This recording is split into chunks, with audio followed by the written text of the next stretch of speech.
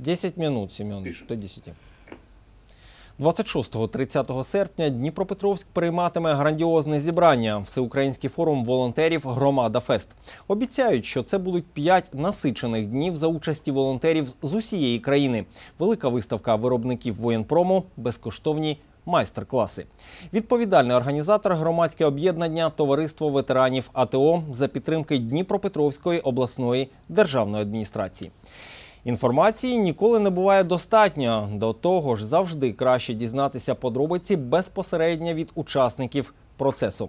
Наша гостя сама волонтер. А зараз радник голови облдержадміністрації Ольга Горб.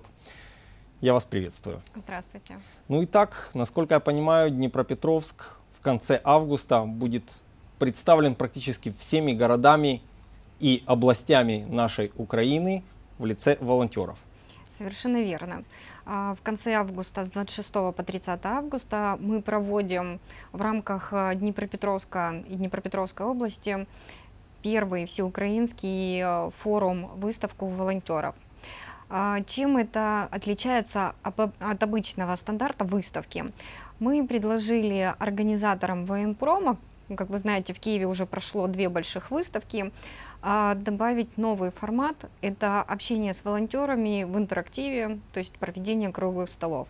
Нас очень сильно интересуют сейчас вопросы в части получения новых проектов и возможностей их реализации обл. администрации и волонтеров э, совместно, для того, чтобы поддержать все-таки наших ребят, э, воинов, потому что Днепропетровск и Днепропетровская область, э, все знают, что это форпост, э, мы первая зона, которая принимает всех наших раненых, мы основная область, которая дала м, большое количество мобилизованных ребят. Практически вот э, с марта 2014 года по текущий момент э, в области мобилизовано около 20 тысяч э, человек.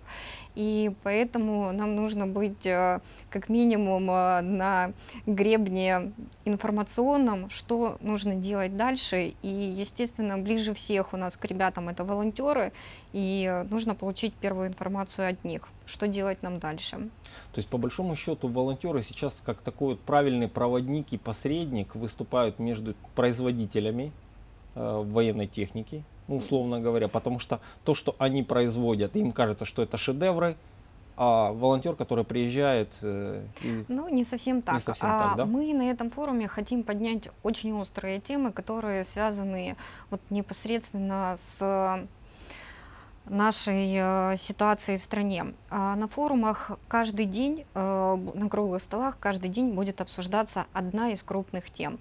Первый день мы обсуждаем реабилитация. Это огромная тема, которая можно разделить ее на три части.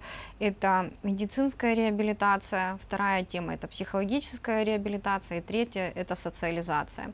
Вы сами прекрасно знаете о том, что когда ребята возвращаются из зоны АТО или даже находясь в зоне АТО, а, самое главное их там поддержать и э, дать им обратную какую-то информацию о том, что они там не одни остались, и их семьи здесь остались не одни. И все-таки существует общественная поддержка, есть государственная поддержка.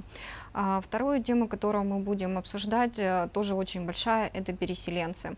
Каким образом э, можно им сейчас обжиться в нашей области, э, какие новые сферы они могут занять, э, чтобы это была не обуза для э, области, а наоборот э, новые Помощь. силы и помощь. А Третья Опять же, тоже очень большая тема – это донорство. Днепропетровская область э, и город Днепропетровск первым принимает э, всех раненых из Донецкой области. Но ранеными у нас не заканчивается вопрос, мы все равно живем мирной гражданской жизнью, и этот вопрос всегда очень был э, острый в части сдачи крови. То есть кровь всегда используют это при авариях, это роженицы, это онкобольные, как дети, так и взрослые. И поэтому эта тема, нужно ее развивать, ее нужно обсуждать, э, потому что у нас очень большой дефицит э, именно крови качественной. И здесь без привлечения, наверное, международных каких-то экспертов э, нам будет очень сложно. Возможно, нам форум здесь поможет. А, Четвертая тема у нас э, к обсуждению – это социальные вопросы, которые возникают у, у ребят в момент мобилизации, либо же демобилизации. То есть это юридические консультации, это консультации в части тех вопросов, которые у них возникают уже при по приезду домой, либо же находясь в зоне АТО. И пятая тема – это интересная тема для волонтеров, грантинг, либо получение грантов и возможность э, получения какого-то дополнительного дохода ну, в той ситуации, которая у нас э, Имеется случилась. Все, все мы знаем о том, что на протяжении вот уже полтора года волонтеры – это активисты, которые, ну, можно сказать так, забросили свое ремесло, свои, Свой бизнес. свой бизнес и занимаются чисто на альтруистических началах э, своей деятельностью. Но в любом случае у нас у волонтеров есть свои семьи, э, нужно как-то поддерживать как минимум минимальные какие-то свои потребности. И мы хотели бы ребятам рассказать, э, либо же помочь в вопросе привлечения международных грантов под определенные программы, сейчас их достаточно много. Второй вопрос – это обсуждение привлечения гуманитарной помощи в Днепропетровский регион. Как бы там ни говорили, но а, гуманитарная помощь – это один из источников инвестиций в область. Э, Мы знаем, что сейчас э, в этом году наш, именно нашей области бюджет э, профицитен, то есть у нас есть профицит, мы получили прибыль, но дело в том, что такое количество вопросов финансовых, э, которых необходимо закрывать, э, этого профицита однозначно не хватает. Поэтому в ближайший год, а может э, и даже несколько лет, все равно нам нужно привлекать гуманитарную помощь и просить наших давайте так скажем, богатых э, соседей, Евросоюз, э, Америку, Канаду, все-таки нам помогать э, как минимум на каких-то по социальным проектам. Я не говорю там о, крупных проектах. Вот пять дней я Пять дней? рассказала, да. ответственных, насыщенных. Ну и я понимаю, что таким образом вы должны еще раз дать определенный толчок духу волонтерства. На ваш взгляд, на сегодняшний день в Украине волонтерство потихоньку идет в пике или все-таки подъем, или Я держимся могу на одном сказать, уровне? что, наверное, остались э, наиболее сильные, потому что за этот год э, произошла трансформация, во-первых, волонтерского движения. А, ну, говорю как волонтер. В первую очередь там с марта по наверное, новогодние э, события Дебальцева волонтеры все-таки занимались э, больше вопросом снабжения. То есть мы были на подхвате где-то какой-то форс-мажор, случилась, э, к сожалению, трагедия, и мы были действительно теми первыми, кто по первому кличу собирал лекарства, одежду, я не знаю, оптику, и сразу везли все ребятам э, на передовую. Но а, я периодически говорю, как волонтеру, такую фразу о том, что волонтер в чистом виде, который есть в Украине, это зло. Мы делаем параллельную систему, есть государство, есть волонтер, финансирование которого происходит из э, гражданского бюджета.